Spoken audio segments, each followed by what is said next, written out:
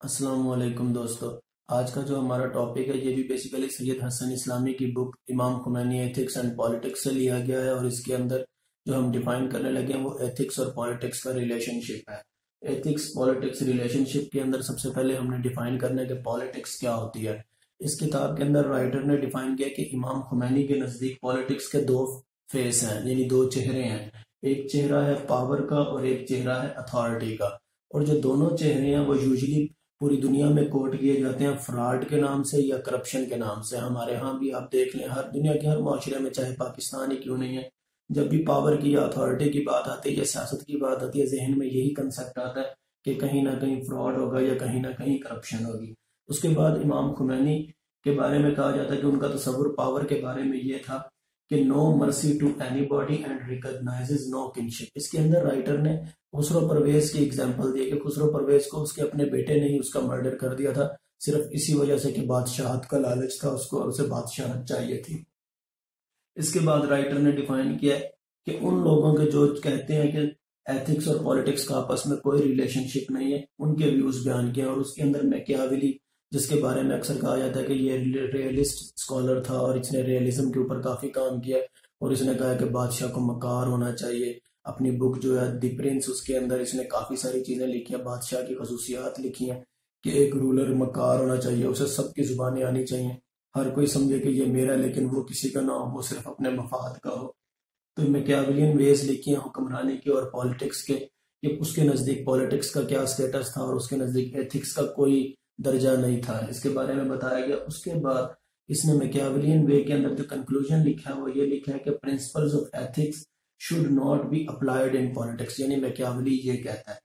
اس کے بعد یہاں پر ایک کوٹیشن دی گئی ہے فرینکس فوکو یاما کے بارے میں۔ فرینکس فوکو یاما نے یو ایس اے کے اندر جو یونائٹڈ اسٹیٹس آف امریکہ کے اندر جو لیجسٹیمیسی کا جو کرائسس آ رہا ہے، وہاں پہ لوگوں کو جو لوگوں کے جو نمائندے ہیں، جب وہ مقرنہ میں چلے جاتے ہیں، قانون ساز اداروں میں چلے جاتے ہیں، تو وہ لوگوں کے ویوز کے بارے میں ان کو تو ان کی توجہ ہی نہیں ہوتی۔ وہ سمجھتے ہی نہیں کہ لوگوں کی کیا ضرورت ہے اور انہوں نے قانون سازی کس طریقے سے کرنی ہے۔ تو یہاں پہ فرینکس فوکو جامع کہتا ہے کہ یو ایس اے کے اندر جو لیجیٹیمیسی کا کرائسس ہے بیسیکلی اسی وجہ سے کہ لوگوں کے اندر جو عوامی نمائندے ہیں، ان کے اندر ایتھکس ہی نہیں ہے وہ سیاست تو کر رہے ہوتے ہیں، لیکن ایتھکس کی بنیاد پہ نہیں کر رہے ہوتے۔ جو وعدے وہ کر کے آئے ہوتے ہیں اپنے عوام کے ساتھ، وہ ان کو فلفل نہیں کر رہے ہوتے، بلکہ جب وہ مقننہ کے اندر آتے ہیں قانون ساز اداروں میں آتے ہیں تو وہ اپنے مفاد کے بارے میں سوچنے لگ جاتے ہیں۔ اس کے بعد یہاں پہ رائٹر نے امام خمینی کے حوالے سے ان کے جو مارکسزم اور لیننزم کے ویوز کے بارے میں ویوز تھے ان کے بارے میں ڈیفائن کیا اور انہوں نے کہا کہ مارکسزم اور لیننزم بیسیکلی یہ کہتے ہیں کہ ہسٹری کچھ بھی نہیں ہے سوائے اس کے کہ یہاں پہ کلاس سٹرگل تھی۔ جتنے بھی معاشرے کے اندر کانفلکٹ رہے ہیں، وہ کلاس سٹرگل کی بنیاد پر رہے ہیں۔ ایتھکس کا معیار اسی وقت ہوتا ہے۔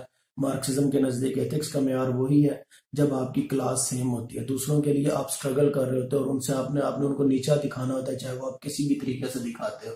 یہاں پہ مارکسزم لیننزم کے اندر امام کمینی نے جو جو ان کا ارشاد ہے ریولوشن کے بارے میں جو انیس سو سترہ میں سوویت یونین کے اندر یا رشیا کے اندر آیا تھا، تو انہوں نے کہا تھا کہ ریولوشن جب آیا تھا، تو اس کا بھی مین ٹارگٹ یہی تھا، اس کے کہ ایتھکس اس کو سب ایتھکس کو نگلیکٹ کر دینا اور جتنے بھی منگولز یا تزار ہیں، ان سب کو سپریس کرنا ہے۔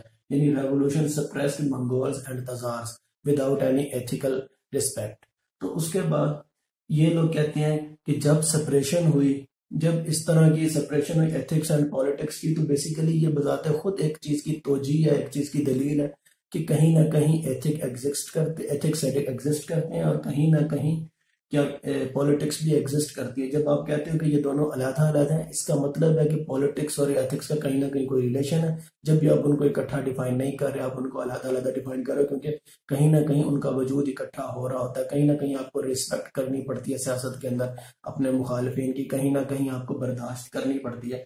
تو بیسیکلی جو سپریشن کے ویوز ہیں بیسیکلی وہی اسینشلزم کی طرف آپ کو لے کے جاتے ہیں کہ پولیٹکس اور ایتھکس جو ہیں، ان کا آپس میں کہیں نہ کہیں ریلیشن ضرور ہے۔ اس کے بعد میکس ویبر کے بارے میں امام خمینی نے کوٹ کیا اور وہ اس رائٹر نے بھی یہاں پہ بتایا اس بک کے اندر۔ کچھ لوگوں کا اس بات کا ماننا ہے کہ ڈویلٹی ہونی چاہیے یعنی ایتھکس بھی اپنی جگہ ایگزسٹ کرنے چاہیے اور پالیٹکس بھی اپنی جگہ ایگزسٹ کرنی چاہیے۔ اس میں مین نام جو میکس ویبر ہے اور میکس ویبر کی ایک بک ہے پالیٹکس ایز اے پروفیشن جس کو امام خمینی نے بھی کوٹ کیا مغربی معاشروں میں خاص طور پر یونائٹڈ اسٹیٹس آف امریکہ میں یا فرانس میں میکس ویبر کو کافی کوٹ کیا جاتا ہے۔ اس کے حوالے سے اس کے بعد رائٹر نے امام خمینی کے اپنے ویوز بیان کی ہیں ایتھکس اینڈ پولیٹکس کے ریلیشن کے بارے میں۔ امام خمینی کی بیسیکلی چار پرنسپلز ہیں ایتھکس اینڈ پولیٹکس کے بارے میں۔ سب سے پہلے وہ کہتے ہیں یونیورسلٹی آف اسلام کہ اسلام جو ہے وہ تمام معاشروں کے لیے، وہ کسی ایک جگہ کے لیے، علاقے کے لیے یا وقت کے لیے نہیں ہے۔ اس کے جتنے بھی پرنسپلز ہیں ایتھکس کے وہ یونیورسل ہیں۔ وہ ہر معاشرے پر، ہر علاقے پر، ہر وقت کی ضرورت کے مطابق اپلائی ہوتے ہیں۔ اس کے بعد امام خمینی نے جو دوسرا پوائنٹ بتایا ایتھکس اینڈ پولیٹکس کے ریلیشنز کے حوالے سے وہ پولیٹکس کے meaning and status of power بتاتے ہیں کہ اسلام کی نزدیک پولیٹکس کا کیا مطلب ہے اور پاور کا کیا سٹیٹس ہے۔ اس کے بعد امام خمینی کا جو تیسرا پوائنٹ ہے ایتھکس اینڈ پولیٹکس کے ریلیشن شپ کے حوالے سے وہ یہ ہے کہ politics as indispensable for realisation of Islam اور پھر چوتھا جو پوائنٹ ہے وہ ہے oneness of ethics and politics in Islam جو کہ مین تھیم ہے اس بک کا۔ کہ ایتھکس اور پولیٹکس جو ہے اسلام کے اندر الگ الگ ہیں ہی نہیں، ایک ہی چیز ہے۔ آپ کے اندر اخلاقیات ہوتے ہیں تو آپ سیاست کو بھی اسی انداز سے کر رہے ہوتے ہیں اور اسی جو بک یہ اسلام ایتھکس اینڈ پولیٹکس جو ہے امام خمینی کی، اس بک کے اندر انہوں نے یہی بتایا کہ ایتھکس ہی پریکٹیکل ایگزیبیشن ہوتے ہیں جو آپ کسی بھی معاشرتی کام کے اندر آپ اس کو، آپ کے آپ کے اندر وہ جھلک نظر آتی چاہے وہ پھر پولیٹکس ہے یا وہ کوئی بھی کام ہے۔